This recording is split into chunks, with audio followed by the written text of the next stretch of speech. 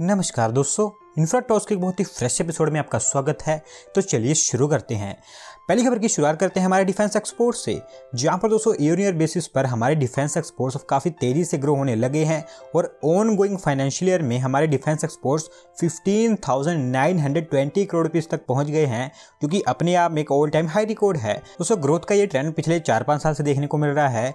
अगर मैं आपको बाय डेटा बताऊँ तो फाइनेंशियल ईयर दो हज़ार में एट करोड़ रुपीज़ के डिफेंस एक्सपोर्ट रजिस्टर किए गए थे। फाइनेंशियल ईयर दो हज़ार इक्कीस बाईस में twelve thousand eight hundred fourteen crore rupees के और इस फाइनेंशियल ईयर में fifteen thousand nine hundred twenty crore rupees के एक्सपोर्ट रिकॉर्ड किए गए हैं। और सो, जिस हिसाब से ग्रो हो रहे हैं, उस हिसाब से देखने को लगता है कि 2026 में हमारी गवर्नमेंट के द्वारा जो टारगेट सेट किया गया है कि हमारे डिफेंस एक्सपोर्ट्स को per year forty thousand crore तक ले जाया जाएगा, वो अचीव हो पाएगा। अगली दो सब डे निकल कर आ रही है हमारे एक्सपोर्ट से रिलेटेड, जहाँ पर दोस्तों हमारे एक्सपोर्ट्स को और इंक्रीज करने के लिए और 2030 तक हमने जो न्यू फॉरेन ट्रेड पॉलिसी के अंतर्गत टारगेट सेट किए हैं, उनको कंप्लीट करने के लिए सेंट्रल गवर्नमेंट के द्वारा डिसाइड किया गया है कि हमारे देश में हंड्रेड और डिस्ट्रिक्ट्स को आइडेंटिफाई किया जाएगा और उनको भी एक्सपोर्ट हब में डेवलप किया जाना है। सो बेसिकली दोस्तों एक्सपोर्ट हब एक ऐसा एरिया होगा या फिर ऐसा डिस्ट्रिक्ट होगा जहाँ पर स्मॉल एमएसएमई और बड़े बिज़नेस और इसके अलावा ऐसे जितने भी एंटाइटीज़ हैं जो कि एक्सपोर्ट्स रिलेटेड काम करते हैं, उन सबको इंसेंटिव दिए जाएँगे, जिसके अंतर्गत टैक्स रिडक्शन ड्यूटी कर्स ऐसी चीज़ें कंप्लीट की जाएँगी। दोस्तों, कहा ऐसा जा रहा है कि अभी ये इस प्रोजेक्ट का फ़ेज़ वन ही होगा। अगर ये प्रोजेक्ट सक्सेसफुल जाता है तो अगले फेजेस में हमारे देश के और बहुत सारे डिस्ट्रिक्ट को कवर किया जाएगा। फ़ेज़ वन में 75 से लेकर 100 तक सिलेक्ट किए जाएँगे। उनमें से सबका परफॉर्मेंस चेक किया जाएगा। और अगर ज़्यादातर डिस्ट्रिक्ट्स में ये प्रोग्राम सक्सेसफुल होता, देखने को मिलता है तो और भी डिस्ट्रिक्ट कवर किए जाने हैं। अगली दोस्तों अपडेट निकल कर आ रही है वंदे भारत ट्रेन से रिलेटेड जहाँ पर दोस्तों seventy five Vande Bharat train के टारगेट को कंप्लीट करने के लिए हमारी रेलवेज के द्वारा ओरिजिनल प्लान को थोड़ा सा मॉडिफाई कर दिया गया है। और अब 16 कोचेज वाली वंदे भारत ट्रेन के बजाय एट कोचेस वाली वंदे भारत ट्रेन की मैन्युफैक्चरिंग की जानी है। दोस्तों, अगर आपको नहीं पता तो मैं आपको बता दूँ कि अगस्त 2023 तक हमारी रेलवेज के द्वारा टारगेट सेट किया गया था कि 75 वंदे भारत ट्रेन को हमारे देश में ऑपरेट किया जाएगा, जो सभी की सभी 16 कोचेस वाली होंगी। पर पिछले कुछ समय में, जैसा कि आप जानते हैं कि कई सारी वंदे भारत ट्रेन को लॉन्च किया गया है तो उसमें से बहुत सारी ऐसी वंदे भारत ट्रेन हैं, जो पूरी कैपेसिटी पर ऑपरेट नहीं हो पा रही हैं और डेली वो खाली चल रही हैं। तो इसी के चलते हमारी रेलवेज के द्वारा डिसाइड किया गया है कि अब 16 कोचेस के बजाय 8 कोच वाली वंदे भारत ट्रेन को ऑपरेट किया जाएगा और अगर ज़रूरत पड़ती है तो और भी कोचेस को उसमें ऐड किया जाएगा।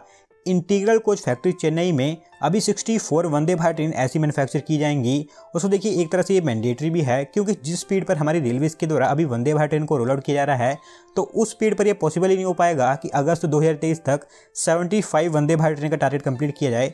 और क्योंकि अब छोटी वंदे भारत ट्रेन हमारी रेलवे को बनानी पड़ेंगी तो मे भी ये पॉसिबिलिटी है कि अब ये टारगेट कंप्लीट हो पाए।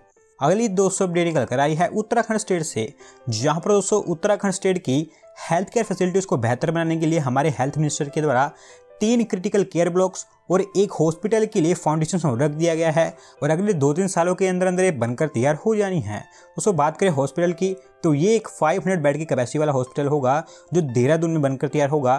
टोटल 120 करोड़ पीस इसके ऊपर स्पेंड किए जाएँगे और एडवांस हॉस्पिटल में जो भी फैसिलिटीज़ होती है, वो यहाँ पर भी बनकर तैयार होंगी। क्रिटिकल केयर ब्लॉक के बारे में बात करें तो एक नैनीताल में बनेगा, एक रुद्रप्रयाग में बनेगा, जबकि एक श्रीनगर में बनकर तैयार होगा। हर एक ब्लॉक 50 बेड की कैपेसिटी वाला होगा। ICU beds H beds, isolation ward beds, isolation rooms emergency rooms, इस तरह की सभी फैसिलिटीज़ यहाँ पर बनकर तैयार होंगी। हर एक ब्लॉक के ऊपर 23.75 करोड़ रुपीज़ स्पेंड किए जाएँगे और ऐसे में टोटल 71.25 करोड़ रुपीज़ इनके लिए एलोकेट किए गए हैं। और जैसा कि मैंने आपको बताया कि इनका फाउंडेशन रख दिया गया है तो अब रेगुलर बेसिस पर इसके ऊपर काम होता हुआ देखने को मिलेगा। अगली दो सब अपडेट निकल कर आ रही है एक न्यू वाटर डिसैलिनेशन प्लांट से रिलेटेड जहाँ पर दोस्तों Chennai metropolitan water supply and sewerage board के द्वारा डिसाइड किया गया है कि वो चेन्नई में एक और वाटर डिसैलिनेशन प्लांट सेटअप करेंगे और इसके लिए Chennai based V Tech Wabag private limited को इसका कॉन्ट्रैक्ट दे दिया गया है। दोस्तों इस वाटर डिसैलेशन प्लांट की capacity 400 million litres per day की होगी जो 750 million litres per day water को ट्रीट कर पाएगा यानी कि काफ़ी बड़ा प्लांट होगा। 4,400 करोड़ रुपीज़ की बड़ी इन्वेस्टमेंट इसके ऊपर होगी। रिवर्स ओस्मोसिस टेक्नोलॉजी बेस्ड ये डिसैलिनेशन प्लांट होगा जिसको डी बी मॉडल पर बनाया जाना है। और ऐसे मैं आपको बता दूँ कि चेन्नई में ऑलरेडी तीन डिसैलिनेशन प्लांट ऑपरेशनल है। और ये चेन्नई में बनने वाला फोर्थ डिसैलिनेशन प्लांट होगा। जापान इंटरनेशनल कोऑपरेशन एजेंसी, जो कि हमारे देश में कई सारे प्रोजेक्ट्स को फंड करती है, उन्हीं के द्वारा इस प्रोजेक्ट को भी फंड किया जाना है और अगले दो तीन सालों के अंदर अंदर ये भी बनकर तैयार हो जाएगा। अगली दोस्तों, एक सिमिलर सी अपडेट निकल कर आ रही है अमृत सरोवर स्कीम से रिलेटेड जहाँ पर दोस्तों हमारे देश के रूरल एरियाज़ में वाटर क्राइसिस को टैकल करने के लिए 40,000 अमृत सरोवर का कंस्ट्रक्शन कंप्लीट कर दिया गया है। और इसके लिए आप कह सकते हैं कि अमृत सरोवर जो स्कीम लॉन्च की गई थी वो एक तरह से काफ़ी सक्सेसफुल स्कीम बन चुकी है। दोस्तों मिशन अमृत सरोवर स्कीम के अंतर्गत वाटर कंजर्वेशन और वाटर क्राइसिस को टैकल करने के लिए अगस्त 2023 तक 50,000 अमृत सरोवर का कंस्ट्रक्शन किया जाना है। इस स्कीम के अंतर्गत जितने भी डिस्ट्रिक्ट को सिलेक्ट किया गया है उनमें एटलीस्ट 75 अमृत सरोवर तो बनकर तैयार होने ही होने हैं। दोस्तों जब से इसको लॉन्च किया गया है तब से लेकर अब तक ऑलमोस्ट 11 मंथ्स के समय के अंदर अंदर 40,000 से ज़्यादा अमृत सोवर्स बनाकर कंप्लीट कर दिए गए हैं जिसके लिए आप कह सकते हैं कि डायरेक्टली इस स्कीम का 80 परसेंट टारगेट कंप्लीट हो चुका है। और जैसे जैसे इसके ऊपर प्रोग्रेस चल रहा है ये हाईली पॉसिबल है कि अगस्त तक ये काफ़ी इजीली कंप्लीट हो जाएगा और मे बी आपको ये टारगेट एक्सीड होता हुआ देखने को मिल जाए। अगली दोस्तों अपडेट निकल कर आ रही है हैदराबाद बेस्ड वर्क से रिलेटेड, जहाँ पर दोस्तों इस फैसिलिटी को यूटिलाइज करते हुए तेलंगाना गवर्नमेंट और American multi national semiconductor giant Qualcomm इन्होंने एक एमयू साइन कर लिया है और ये दोनों मिलकर इस टी वर्क नाम की फैसिलिटी में प्रिंटर सर्किट बोर्ड की फैसिलिटी सेटअप करेंगे। तो सो टी वर्क जैसे कि आप जानते हैं कि ये आज के समय में हमारे देश का लार्जेस्ट प्रोटोटाइप टेस्टिंग फैसिलिटी है, जिसको रिसेंटली ओपन किया गया है। कहा जा रहा है कि इस फैसिलिटी में तेलंगाना गवर्नमेंट और क्वालकॉम दोनों मिलकर एक multi layer printer circuit board facility की सेटअप करेंगे, जहाँ पर पीसीबी की फेब्रिकेशन के ऊपर काम होगा। ट्वेल्व लेयर तक की जो पीसीबीज हैं, उनकी फैब्रिकेशन यहाँ पर की जाएगी, जिनको आगे जाकर electric vehicles medical devices automation products consumer electronics इन सब चीज़ों में यूज़ किया जाएगा। हालाँकि दोस्तों, अभी ये तो नहीं बताया गया कि इसके ऊपर कितनी इन्वेस्टमेंट होगी, या फिर कब ये बनकर तैयार होगा, लेकिन कहा ऐसा जा रहा है कि अगले कुछ ही महीनों के अंदर अंदर इसके ऊपर एक्चुअल काम स्टार्ट होता हुआ देखने को मिल जाएगा। बढ़ेंगे दोस्तों, अगली अपडेट की तरफ़। जो निकल कर आ रही है एक न्यू क्रिकेट स्टेडियम से रिलेटेड जहाँ पर दोस्तों आपको राजस्थान स्टेडियम में भी एक और क्रिकेट स्टेडियम बनता हुआ दिखाई देगा, और इसके लिए हिंदुस्तान जिंक लिमिटेड और राजस्थान क्रिकेट एसोसिएशन इनके बीच में एम साइन हो गया है। दोस्तों, इस क्रिकेट स्टेडियम की प्लानिंग तो पिछले ऑलमोस्ट एक डेकेड से चल रही है। कई सारे डिस्प्यूट्स भी इसमें देखने को मिले, और अब जाकर सभी चीज़ें क्लियर हो चुकी हैं। थोड़ा सा आपको इसका डिटेल्ड प्लान बताऊँ तो ये क्रिकेट स्टेडियम जयपुर के चौविली में बनकर तैयार होगा। हंड्रेड एकर्स के एरिया में फैला होगा जहाँ पर 75,000 स्पेक्टेटर्स की सीटिंग कैपेसिटी होगी। जो इसको वर्ल्ड थर्ड लार्जेस्ट और India second largest cricket stadium बना देगा। ऑलमोस्ट दो फ़ेज़ में इसको डेवलप किया जाएगा। फ़ेज़ वन में कैपेसिटी 40,000 स्पेक्टेटर्स की होगी जबकि फ़ेज़ टू में कैपेसिटी 35,000 स्पेक्टेटर्स की और होगी।